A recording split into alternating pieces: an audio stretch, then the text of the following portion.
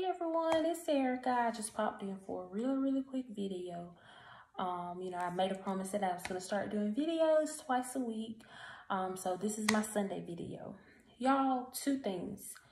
Stop giving people the opportunity to hurt you twice. I uh, talked about this in my morning motivation, I think Tuesday or Wednesday this week. But I wanted to do a recap on it. Y'all, when you carry good fruits, you have to be mindful of people who carry bad fruit. You have to be able to decipher who's good for your spirit and who's not good for your spirit. The Bible tells us bad company corrupts good character. So you can't be in the presence of people and they're carrying bad fruit and you have good fruit and expect not to pick up some of their habits, to pick up some of their ways. It's okay if it's your family members. It's okay if it's some people that you used to be friends with, but you need to learn how to separate yourself so they won't contaminate your good fruit.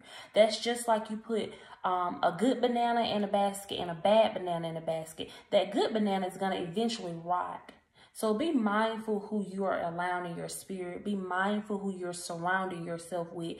Birds of a feather flock together. My grandma used to always tell me that I never understood it. I never, you know, comprehended at that moment. I'm like, Grandma, just because they're bad, I can make my own decisions. This is not going to make me bad. But y'all, when you hang with somebody and they have bad uh, habits, bad ways, you're going to eventually pick them up. It may be slowly, but you're going to eventually pick them up.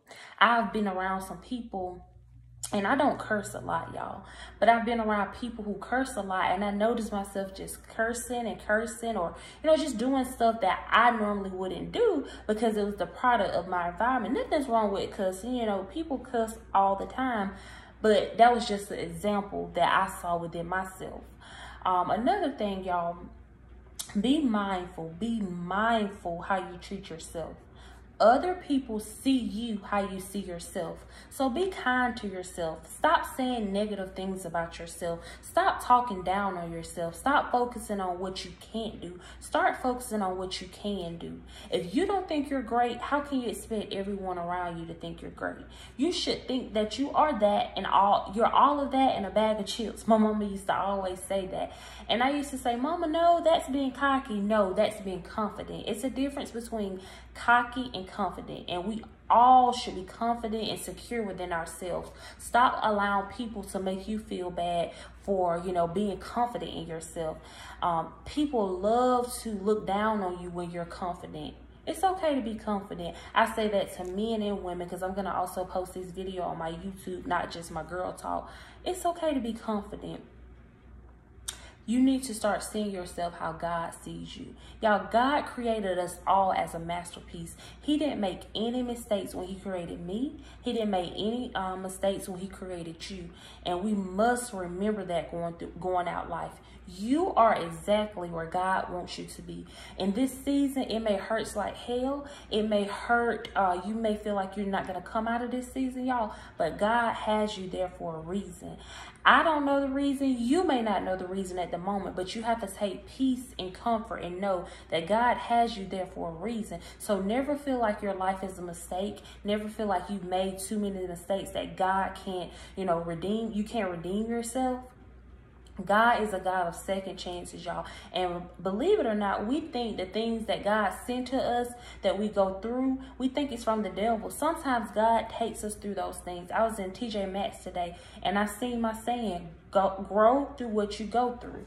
And I was like, wow, that's what I always tell people grow what you go through and those things that are that that season that you're in right now god has you there for a reason and don't don't get jealous when you see someone else blessed don't uh, start feeling bad when you feel like things aren't going your way god has you exactly where he wants you what's for you is for you you can do anything in the world you cannot mess it up if God has your name on it, nobody can take it. You can make a million mistakes and God is still going to give it to you in his timing. That's the part as humans we have a hard time understanding.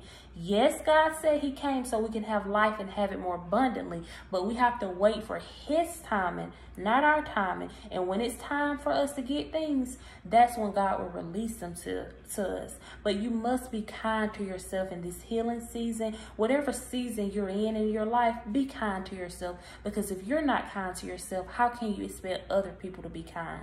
Um, my life coach, she told me, she said, people treat you exactly how you treat yourself. So you have to treat yourself with love, respect, kindness. You have to be patient with yourself and know that God created you, that you are fearfully and wonderfully made in the image of God. He sees you as a masterpiece. And if you start seeing yourself there, you will start to attract good things. What you put out come back to you. So if you wake up with a, a good mood, happy energy, just a you know an all-around happy person good things and happiness is going to come to you. You are what you attract. You see yourself how people see you how you see yourself. And as humans we we we don't elaborate on that enough we always, you know, try to take the negative. We look at ourselves and say, I can be better in this. I can be better in that. But sometimes you have to take a step back and say, you know what? I'm proud of myself. I am moving to another level. I'm, I'm going where God wants me to go. And be kind to yourself. Make sure, make sure that when you're elevating in your life and you're growing, that people that are that surround you have the same mindset as you. They have the same values. They have the same goals. Because if not, you will clash with those people.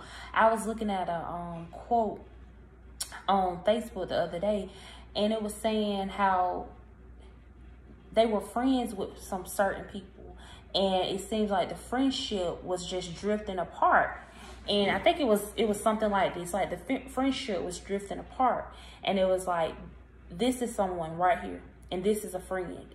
And if you go come back down, you're lowering yourself to meet them. So if this person wants to meet you, they need to come up to where you are. And I was like, wow, that's awesome. And for me, I've noticed that, you know, it's some people that I was close to um, years ago. And I'm just like, why I haven't talked to those people in years. And do I need to meet them where they are or do they need to meet me where I am? And sometimes I may need to meet people where they are. I'm not perfect. I'm not going to sit here and say that I'm, you know, always right. So I have to take a look back at myself and say, you know what? Do I need to meet them where they are or do they need to meet me where I am? And I challenge you to do that. Take a step back and see if the people around you are pouring into you, if the people around you are good they are they carrying good fruits? Y'all because you do not want to be contaminated by people who hinder your growth. You don't want to be contaminated by bad spirits. Life is too short for that. And y'all i always tell you god sometimes hold blessings back from you because of the people you surround yourself with. I'm gonna say this and i'm gonna leave because i'm getting a little happy. Do you remember when jesus went to heal the little girl they thought she was dead. What did God do? He made everybody in that room get out before he woke the little girl up. Sometimes you got to check your circle before God can elevate you. Don't hinder yourself. Don't stay in the same season that you're in because you want to stay friends with this certain person or you want to lay with this certain person. You want to talk to this certain guy. You want to talk to this certain girl. I'm telling y'all something I know. God couldn't bless me because I held on to this certain person for so many years. I didn't want to let them go. I didn't tell God that, you know, have, you know, have your way in my life, God, because I knew that if I told God that he would remove this certain person. And so I was so comfortable and content with this person that I was willing to hinder my growth. I was willing to stay in the season that I was in. And truth be told, I wasn't happy, y'all. I was just there I had good days, but I wasn't happy. I'm not, I wasn't as happy as I am today. So I, I challenge you. If you know it's someone that needs, you need to let go, you need to ask God to give you the strength to walk away. Whether it's a friend, whether it's a man or it's a woman, so you can get all the blessings that God wants for you. And I remember telling somebody this, God is not going to bless me until I let this certain person go or until I let this certain situation go, y'all. And I did it. I had to cry many nights. I had to pray many nights. And then finally I said, you know what? I'm crying. I'm crying anyway, so I might as well let go and let God have, have his way in my life. And y'all, he has blessed blessed me so much. When I tell you God is awesome, I was in a horrible spot six months ago, but it was nothing but the grace of God that killed me. So I'm here telling you something that I know. I'm not telling you anything my mama told me. I'm not telling you anything my grandma told me. I'm not telling you anything anyone told me. I'm telling you something that I have lived through. It was something that I went through. I had to go through to grow. So I pray y'all have an awesome day. I love y'all. I just wanted to come in and drop some quick words in. If y'all need anything, DM me on Facebook, Snapchat, Instagram. Please, please, please go to my YouTube channel. Um, I think it's just called Erika James. I'm going to drop the uh, link below. Please go subscribe to my YouTube channel, y'all. This is all new to me. I don't know how to edit videos. So if I make mistakes when I'm talking, just please, please take it for love because I can I don't know how to go back and, you know, take the mistakes out. I don't know how to edit the videos because um, I do work a full-time job and it's kind of, you know, it's I have a very, very um, high demand job and very stressful. So I do try to get my videos in when I can. But please, please go subscribe to my YouTube page. Um, and if y'all need anything, y'all know how to reach out to me. If you have my personal cell phone number, feel free to text me. But if not, inbox me uh, via social media. I pray y'all have a blessed and awesome day. I love y'all.